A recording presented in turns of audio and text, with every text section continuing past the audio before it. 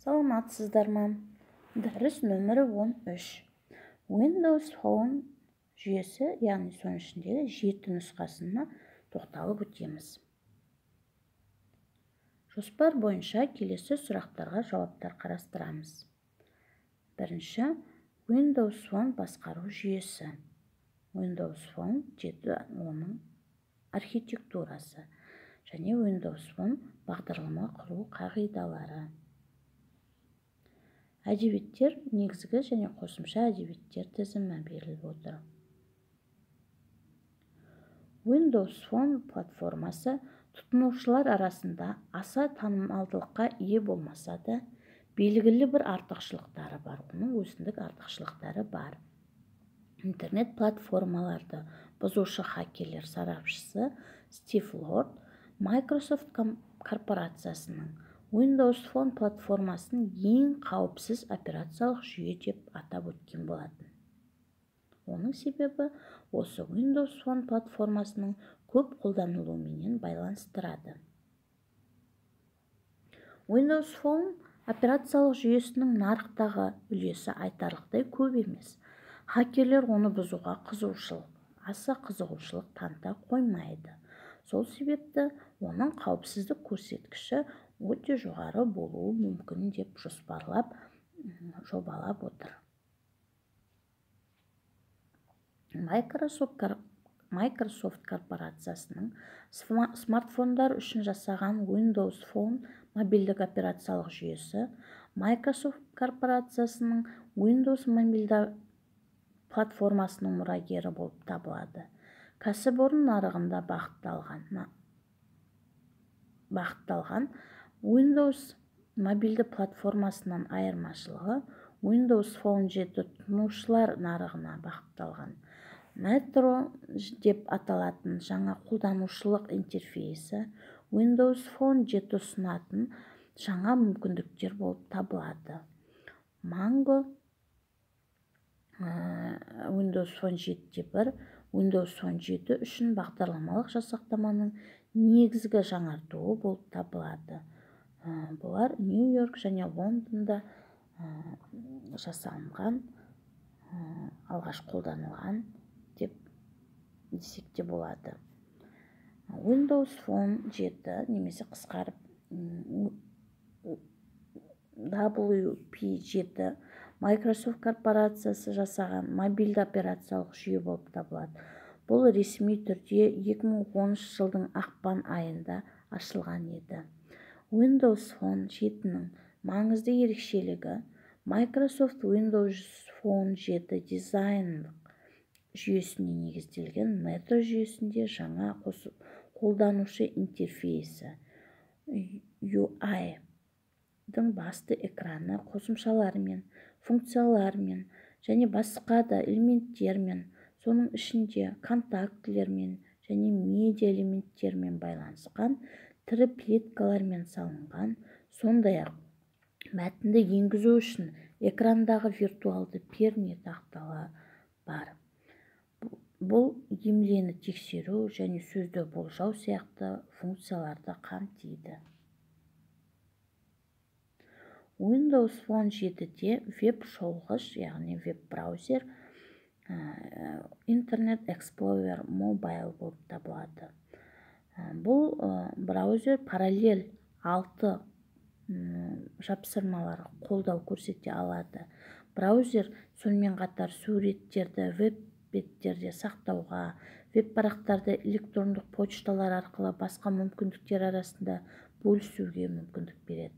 Microsoft корпорациясы windows phone 7 веб шолғышын амалдық жүйеден тәуелсіз жаңартатынын мәлімдейді.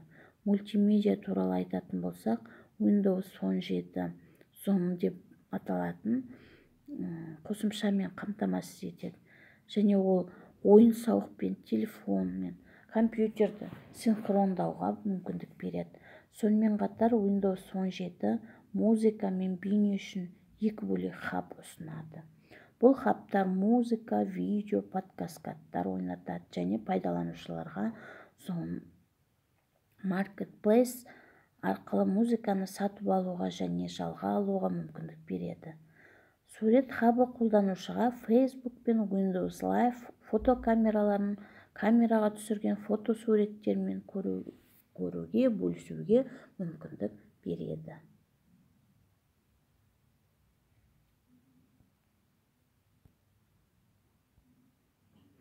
Windows phone 7 бұл смартфондарға бағытталған microsoft жасаған мобильді операциялық жүйе екендігін айтып өттік. Ал mango 2011 жылдың 24 мамырында ашылған windows phone 7 үшін аса маңызды жаңарту болып табылады. Windows phone 7-де экрандағы тіректері бар жаңа пайдаланушы интерфейсі бар. Мультимедиамен жұмыс істеуге арналған виртуалды пернелер интернет эксплойер браузерімен зон қосымшасы бар осының барлығын мүмкіндіктерін қолдана алады. Манго windows phone жүйесінде bing аудио bing көру bing суреттерін іздеу windows live messenger функциялары сияқты жаңа мүмкіндіктерді береді яғни қосады. Mango windows phone 7-нің мүмкіндіктерін 500-ге жуық жаңа мүмкіндіктерге кеңейтті. Олардың ішінде ең бастысы жаңа коммуникациялық мүмкіндіктер қосымшаның мүмкіндіктері интернет мүмкіндіктері де бар. Windows phone 2010 жылдың 11 қазанында шыққанын айтып өттік. Яғни осы microsoft корпорациясын құрастырған мобильдік басқару жүйесі болып табылады дедік. Сол жылы 21 қазаннан бастап осы жаңа платформаның негізінде жасалған алғашқы құрылғылар нарыққа жеткізіле бастады нарыққа шыға бастады. Тмд елдерінде windows phone бар осыны қолдайтын телефондар смартфондар 2011 жылдың 16 қыркүйегінен бастап сатылымға шыға бастады. Алғашқысы HTC сем Mozart яғни HTC түріндегі телефондар еді фирмалық. Бұл басқару жүйені Windows Mobile мен үйлеспейтін болса да оның ізбасары болып табылады. Интерфейсі толығымен жаңартылған және ең алғашқы рет Microsoft-тың жаңа сервистерімен біріктірілген. Нақтырақ айтқанда ойындарға арналған Xbox Live және Media Player Zone сервистерменен жабдықталған. Осы Windows Phone жүйесі болып табылады. Windows Phone мультитач технологиясын қолдайды және онда қағидалар бұрынырақ Windows Media Center, ZAN, Xbox интерфейсінің дизайнында қолданылатын Metro деп аталатын жаңа интерфейсі бар. Microsoft бас менюді қайта жасап шығарды. Мұнда енді тұрақты иконкалар жоқ. Олардың барлығы қолданушының қатынасуынсыз ақпаратты нақты уақыт тәртібінде көрсетіп тұратын тірі плиткаларға яғни лайф тайлс немесе иконкалар тайлдарға ауыстырылған болатын. Мысалы интернетке қосылған кезде ауа райын көрсететін қосымша өзінің барлық қосымшалардың менюінде орналасқан жарлығында ауа райын көрсетеді немесе егер қосымша суреттер көрсете алатын болса оның телефондағы жарлығында сіз телефонда сақталған суреттерді слайд-шоу ретінде көрсетіп тұра алады.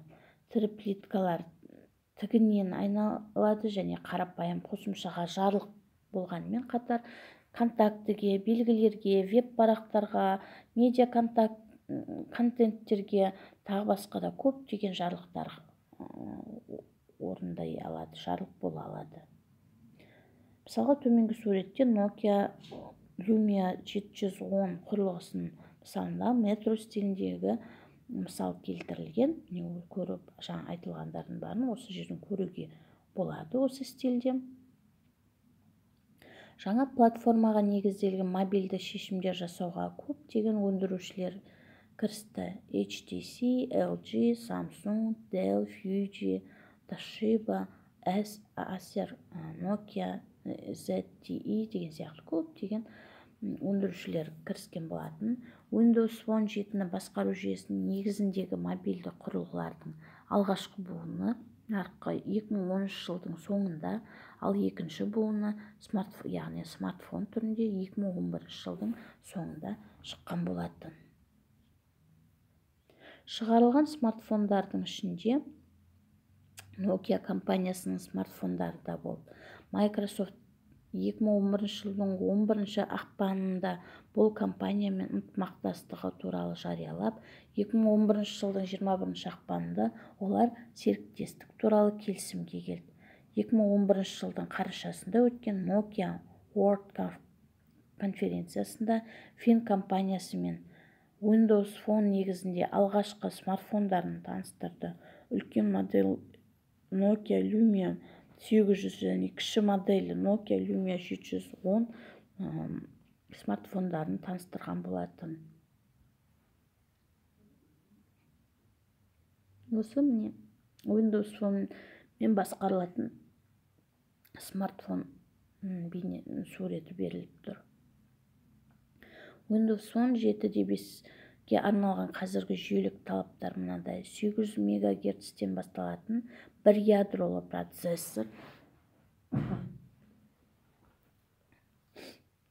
500 256 мегабайттан басталатын жедел жады 4 гигабайттан басталатын флеш жады сыйымдылықты 4 нүктелі сенсорлы экран WVGA рұқсатты дисплей яғни 800 480 DirectX видеокартасы құлаққаптарға арналған 3,5 мм тіркегіш микро USB 2.0 Wi-Fi 802.11 бит FM радио Bluetooth аппараттық басқару батырмалары оның ішіндегі бастау іздеу кейін деген сияқты батырмалары кіреді.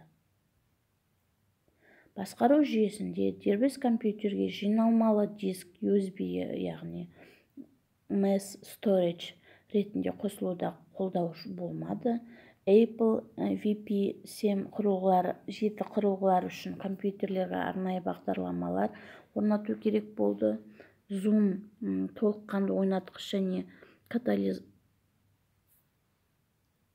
каталогизатор сонымен қатар қосылған құрылғылардың медиатекасын басқару мүмкіндігіне ие болды. Mac os x үшін microsoft компаниясы vp7-ге itunes яғни фильмдер музыка аудио видео подкасттар және i фото кітапханасының бөлігімен үйлесу сонымен қатар мобильді құрылғылардағы жаңарту мүмкіндіктерін беретін windows phone коннектор қосымшаларын шығарды.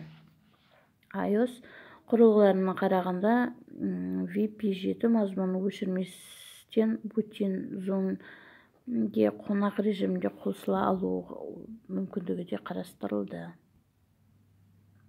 Windows 7 Windows Phone 7 платформасы архитектурасы екі деңгейлі, яғни ядро деңгейі мен қолданушы деңгейі, 32 биттік басқару жүйесі, қосымшалар процестері, 1 гигабайтқа дейін виртуалды жады ала алады.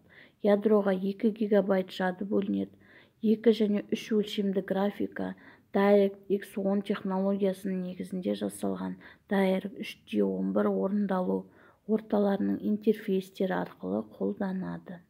Ең қызықтығы бұл аппараттық құрылғыларға арналған драйверлерді яғни OEM деп аталатын өндірушілердің өздері жасай алады. Яғни microsoft компаниясының өзі емес те windows phone басқаруындағы телефондарды өндіретін компаниялар жасай алады.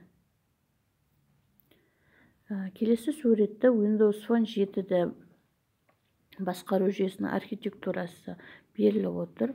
Жүйе екі кеңістікке бөлінген. User space яғни қолданушы кеңістігі және kernel деп аталатын кеңістікке бөлінеді.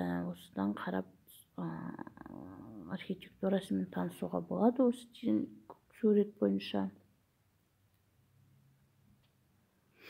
Қолданушы кеңістігінде әдетте қолданушы жұмыс жасайтын қосымшалар яғни applications орналасады. Бұл қосымшаларды exe файлының көмегімен шақырады бірақ қосымша өздігінен бола алмайтындықтан орындала алмайтындықтан оған kernel space деңгейінде орналасқан функцияларды шақыру керек.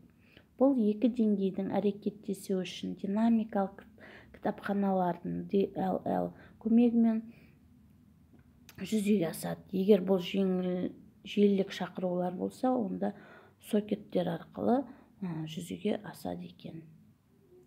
Ядро кеңістігінде қолданушы бағдарламаларынан келген шақыртуларды өңдеу жүреді. Егер ондай қандай да бір құрылғы араластырылған болса алдымен құрылғы жұмысының кітапханасы шақырылады. Кітапхана шақыруды өңдегеннен кейін ол құрылғы драйверіне беріледі. Мысалы видеокамераның немесе пернетақтаның ал одан кейін бұл шақыртулар аппаратты құрылғыға беріледі. Windows phone 7 басқару жүйесі ядросының жұмыс жасау принципі windows 7 басқару жүйесінің жұмыс жасау принципіне ұқсайды. Біздің дәрісіміз бойынша негізі айтылған өзекті мәселелер осы. Келесі бекіту сұрақтарына жауаптар қарастыру керек. Бірінші windows phone басқару жүйесі бар. Құрылғылар алғаш қашан пайда бола бастады? Windows phone 7 негізінде құрылғылардың негізгі сипаттамалары қандай болды? Windows phone 7 басқару жүйесіндегі бағдарламалар құру қандай тілдің көмегімен жүзеге асырылды? Silverlight дегеніміз не? Және ол не үшін қолданылады? Xna дегеніміз не? Windows phone sdk құрамында қандай құралдар кіреді? Windows phone 7 интерфейсін жазу оның архитектурасын қандай және оны түсіндіріп өтсеңіз windows фонға ойын орнату қалай жүзеге асырылады? Бүгінгі дәріс бойынша осы назарларыңызға рахмет. Сау саламатта болыңыздар.